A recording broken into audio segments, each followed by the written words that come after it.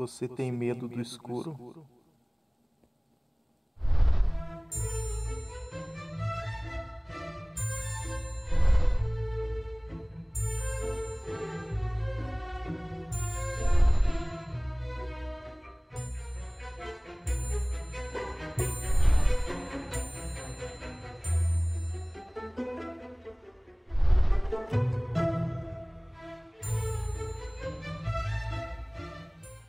Sabe quando você apaga a última lâmpada?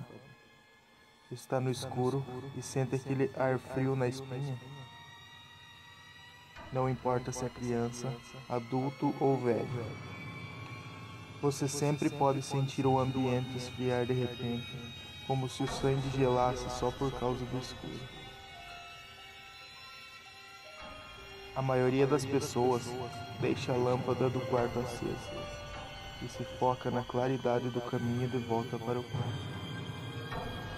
Outros vão correndo, mas poucos, quase nenhum, olham para trás. Você sabe que não tem nada lá no escuro. Ou pelo menos, sua mente quer pensar assim.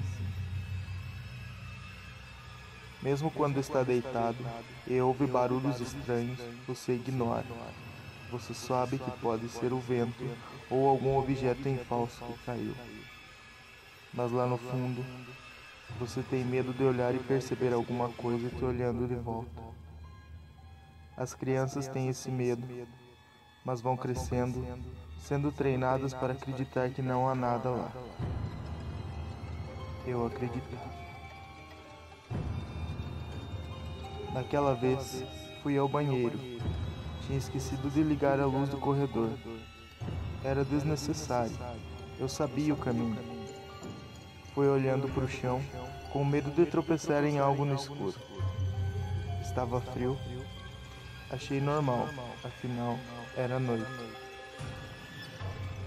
Enquanto fazia o que tinha que fazer ao banheiro, senti um pequeno calafrio. Ri sozinho. Estava realmente apertado era um alívio. No caminho de volta, ouvi um estalo atrás de mim e me arrepiei.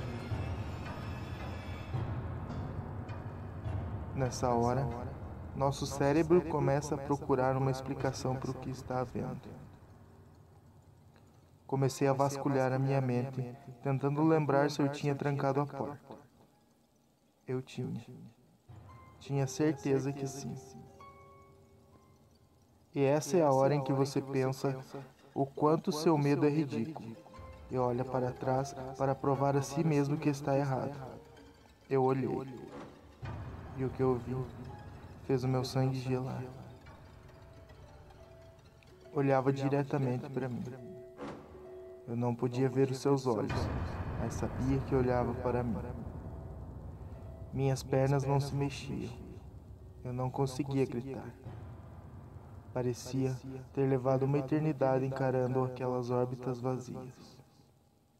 Até que consegui forças para correr até o meu quarto e acender a luz. Enquanto meu coração parecia que ia sair pela boca, olhei para onde a coisa estava e não havia mais nada lá.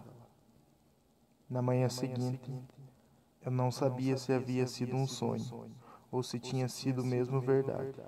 Eu só sabia de uma coisa. Eu não durmo mais com as luzes apagadas. Fala pessoal, beleza? Espero que vocês tenham gostado aí desse novo vídeo do nosso canal aí, o canal Malditamente. É, e eu queria falar para vocês, pessoal, que na descrição desse vídeo tá o link para o nosso Twitter, entendeu? Então segue a gente no Twitter lá e não perde nenhuma novidade do canal. Beleza, pessoal? Falou e até mais.